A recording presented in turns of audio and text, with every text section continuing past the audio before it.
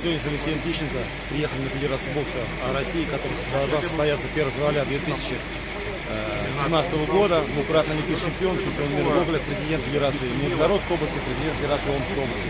Кирилл, который с нами. То есть сегодня э, Борис Викторович Иванюрников, вам огромный привет, что такой беспредел вы устроили сегодня с вашей командой. Бокс в России на сегодняшний день умер.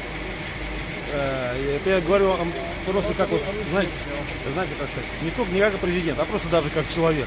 И ваша команда, которая с вами работала 5 лет, а вы были депутатом Государственной Думы, никаких программ нет, экономического развития бокса нет. И то, что сегодня творится вот здесь в Олимпийском комитете, беспредел такой, такого еще, ну, даже...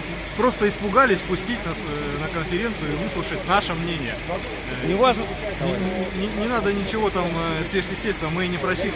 Просто нас запустите и дайте нам высказаться, дайте нам самим проголосовать и самим решить судьбу нашего российского бокса. И мы не хотим, чтобы за нас кто-то решал, там, генерал, адмирал, там еще. Боксеры сами хотят навести порядок в своем доме.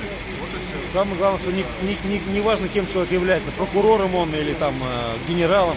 Здесь самое главное, есть люди, вот такие, как Алексей Тищенко, двукратный олимпийский чемпион, и многие другие боксеры, которые здесь вот с нами стоят, чемпионы мира, Европы, они, которые потели на ринге, проливали пот, рвали сухожилия. А что сделали вы случайно? Вот вы э, потели в зале или где-то с боксерами где-то были. Вот мне очень обидно, что такой беспредел сегодня. Особенно вам хочу сказать, вам именно Борис Викторович Иванюжников.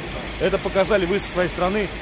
Вот настолько прогнил бокс в России, что сегодня люди, э, и Гафур Рахимов, он с Дубая, и Толя Быков, Анатолий Петрович, почетный президент России, он уже давно говорил, надо менять просто вот это говно, болото, которое сидит, ничего не работает. Из-за этого страдают регионы, страдают э, маленькие города, где с чиновниками решить ничего нельзя. Вот про эти вопросы мы хотели сегодня решить.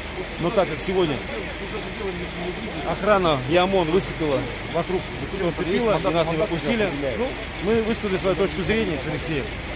Э, мы имеем право, потому что мы потели на ринге, прославляли нашу Россию.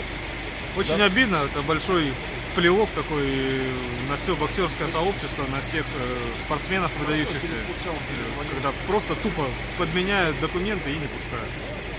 Большое спасибо за понимание.